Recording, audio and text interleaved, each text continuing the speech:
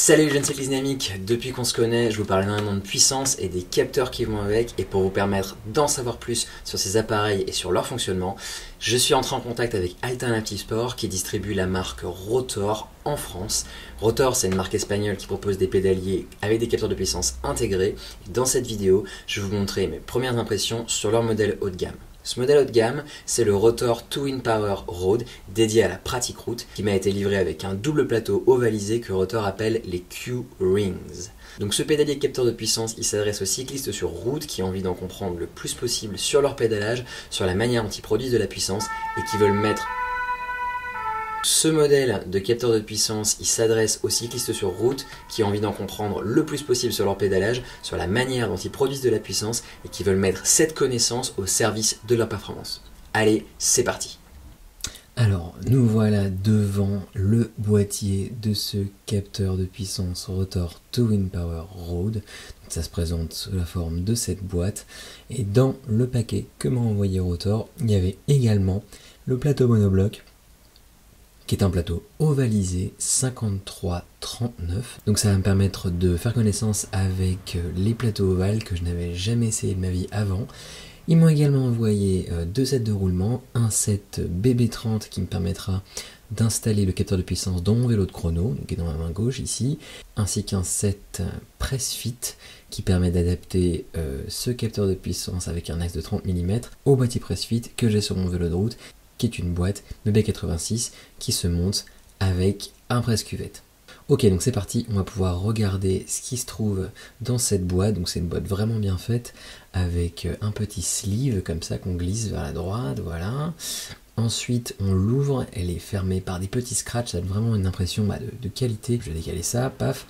Donc on ouvre et on trouve le manuel d'utilisation en espagnol et en anglais. Bon, on aurait adoré un manuel d'utilisation en français, mais anglais-espagnol, ça passe. Et surtout, un truc super important et qui montre vraiment que Rotor a à cœur de montrer que ses produits sont compatibles avec un grand nombre de cadres, parce que c'est souvent le problème quand on achète un capteur de puissance qui est euh, basé sur pédalier, et eh bien la compatibilité n'est pas assurée.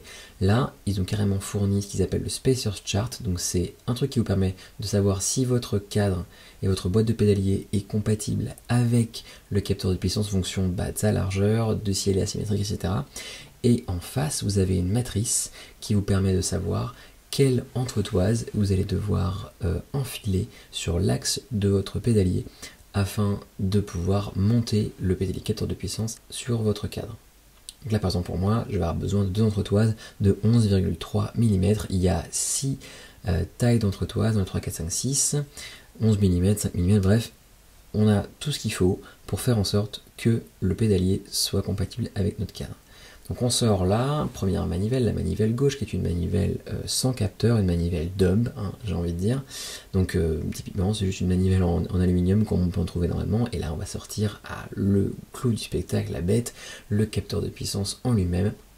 Ce capteur de puissance en fait, il est double puisqu'il comporte 4 jauges de contrainte dans la manivelle droite, voilà comme je vous le montre, et ainsi que 4 autres jauges de contrainte dans l'axe de pédalier. Et grâce à ces multiples jauges, eh bien, ça permet de calculer la puissance développée par chacune des deux jambes, ainsi que de mesurer énormément de choses qui permettent d'analyser le pédalage du coureur.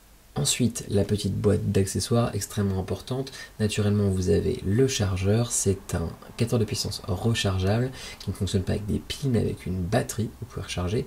Donc cette batterie est rechargeable facilement. Globalement, vous pouvez utiliser voilà, ce petit euh, câble et ce câble est aimanté, ce qui est vachement pratique. Ce qui donne une impression de finition de qualité. Franchement, euh, après le capteur de puissance est donné pour 250 heures d'autonomie. Donc on va pas le charger très fréquemment, en tout cas pour moi, ça représente à peu près une charge tous les 6 mois et pourtant je roule beaucoup. Donc pour euh, le cycliste lambda, ça va représenter peut-être une charge par an, pas forcément énorme. Ensuite, du coup, le kit d'entretoise dont je vous parlais, qui correspond du coup à celles qui sont dans le Spacers Chart. Donc là-dedans, on va trouver toutes les entretoises dont on a besoin pour rendre euh, ce capteur compatible avec tout type de cadre, ah bon, sauf les cadres BB90 de la marque Trek, qui eux, de toute façon, ne sont pas compatibles avec grand-chose. Donc pour moi, ce seront ces deux euh, spacers de 11 mm de large. Vous avez du coup tout un tas de spacers qui peuvent venir vous aider à rendre euh, compatible votre cadre, dont ce spacer pratique pour les euh, boîtes asymétriques type Ride. On va s'attacher ensuite à notre couronne monobloc, les fameux Q-Rings. Donc vous les voyez bien, là il s'agit effectivement euh, d'un double plateau monobloc ovale. Ce que je trouve super sympa, c'est l'aspect monobloc, je n'avais vraiment jamais vu. donc là, pas de vis, il n'y a vraiment rien qui maintient l'ensemble, c'est tout d'une même pièce, même pièce de métal. C'est peut-être embouti, je sais pas si c'est une pièce d'un seul tenant euh, euh, usinée euh, d'une pièce unique ou si c'est forgé, bref, mais en tout cas c'est vraiment très bien fait. Il n'y a pas une vis, donc il n'y a pas aucune chance qu'il y ait du jeu. C'est vraiment bah, une, pièce solidaire qui donne vraiment une, impression bah, de, rigidité super grande à ce plateau. en, plus du fait que ça a l'air relativement léger, franchement. Bon, pour moi, moins il y a de pièces, plus c'est joliment fait, plus c'est cool, et je suis vraiment séduit euh, par ce double plateau monobloc. Voilà, donc si on démonte la petite rondelle à ailette qui nous permet de faire entrer le double plateau monobloc, et qu'on enlève le petit capuchon, côté manivelle gauche, on va pouvoir installer euh, le double plateau. Voilà, c'est parti. Et ce qui est dingue avec euh, ces plateaux ovales, c'est que vous avez trois positions suggérées par Rotor qui vont vous permettre d'adapter la position des plateaux à la forme, à la nature de votre pédalage.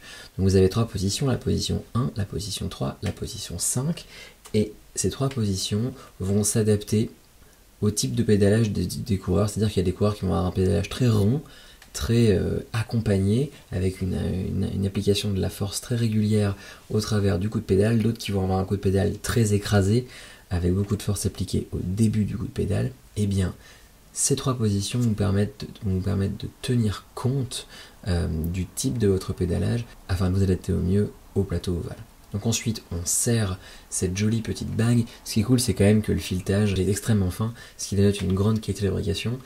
Ensuite, on n'a plus eh qu'à euh, enfiler la manivelle gauche, à serrer la vis de serrage. normalement, euh, tant euh, la rondelle à ailette que la vis de serrage, on doit leur appliquer un couple spécifique. Là, pour les besoins de l'exercice, je vais serrer ça sans clé dynamométrique. Et sachez en tout cas que la rondelle se couple à 35 à 40 Nm et la vis de serrage à 7 Nm. Il ne reste plus qu'à enfiler le petit capuchon. Là pareil, j'ai pas la clé à laine de la bonne taille pour le serrer, donc pour les besoins euh, de la vidéo, je vais serrer ça à la main. Voilà, j'ai pas la bonne taille d'outil. Donc on va serrer ça à la main juste pour montrer à quoi ça ressemble quand c'est monté. Et là, on a un magnifique pédalier capteur de puissance, ce rotor Touring Power Road avec un double plateau monobloc Curings on est vraiment en présence d'un bel objet. Et je vais vous montrer euh, un petit peu la manière dont se monteront, dont je vais pouvoir monter euh, les roulements ainsi que les entretoises sur mon cadre de contrôle à montre.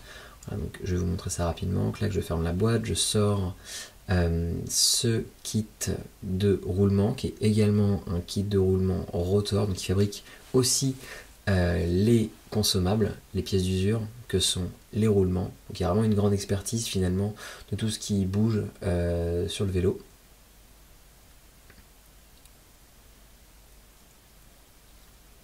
Et dans ce kit de roulement, on a naturellement eh les deux roulements annulaires BB30, les deux rondelles ouvertes qui viennent s'insérer dans le cadre pour arrêter les roulements à l'intérieur du cadre et on va avoir les caches poussières des roulements et là rien de plus simple globalement vous allez enfiler euh, vos rondelles ouvertes dans le cadre les roulements dans l'horlogement les caches poussières de chaque côté comme ça puis les entretoises par dessus les caches poussières. Et le capteur de puissance, le pédalier de puissance va venir au milieu, un peu comme tout pédalier, voilà, comme ça. Et là, on va avoir un montage bah, finalement relativement simple que je vous montrerai dans la vidéo test que je vais tourner prochainement. Alors, parlons d'ailleurs de chiffres. Premier chiffre important, la précision, avec une précision de plus ou moins 2%. Ce capteur de puissance rotor 2 in Power Road est tout à fait en ligne avec les standards du marché, donc rien de, rien de mirobolant et rien de détonnant ou de décevant non plus. On est sur ce qui se fait de bien sur le marché des capteurs de puissance. Mais là où vraiment euh, il se distingue, ce n'est pas vraiment sur la précision, mais plus sur les possibilités d'analyse du pédalage que ce capteur rotor Twin Power offre par rapport à ses concurrents. Je vais aller chercher une balance pour peser la bête. Voilà, elle est tarée. On va peser le capteur avec son pédalier. Le constructeur donnait un poids affiché de 780 grammes, je crois, et on arrive sur la balance à un poids mesuré de 791 grammes, soit pas loin de 160 grammes de mieux que le capteur de puissance FSA Powerbox que j'ai monté sur euh, mon vélo de route. Donc on est vraiment bah, une classe au-dessus en ce qui concerne euh, la légèreté du matériel. Pour conclure mes premières impressions, je dirais que je suis vraiment impatient de pouvoir tester. Alors qu'il s'agisse euh, de tout ce qu'a à offrir ce cadre de puissance en termes d'analyse du pédalage, ça je suis vraiment curieux parce que je dois avouer que j'ai jamais pu tester euh, ce genre de technologie. Euh, j'ai aussi hâte de pouvoir comprendre un petit peu comment fonctionnent les pédaliers ovales et, et, aussi de découvrir les sensations que je peux avoir sur le vélo avec ce type de pédalier. Et donc je vous proposerai prochainement un test complet avec le montage sur le vélo, les réglages associés, hein, il faudra régler le dérailleur avant, l'essai sur route, la détermination de ce que Rotor appelle l'OCA pour Optimal Chainring Angle. On fera également un test de précision contre mon home trainer, on développera tout un tas d'autres rubriques qui vous permettront de comprendre à quoi sert un capteur de puissance et comment on peut utiliser toutes les fonctionnalités poussées du in Power et de l'application Rotor pour en tirer bien plus que de simples chiffres. J'ai vraiment vraiment hâte de y mettre, j'espère que vous aussi. Si vous voulez aller plus loin et avoir l'occasion de continuer la conversation autour du contenu de la chaîne, n'hésitez pas à me suivre sur Twitch et sur Instagram. J'y diffuse de réparation hivernale et plein d'autres choses qui pourraient vous intéresser. La suite arrive très bientôt et d'ici là je vous dis allez, ciao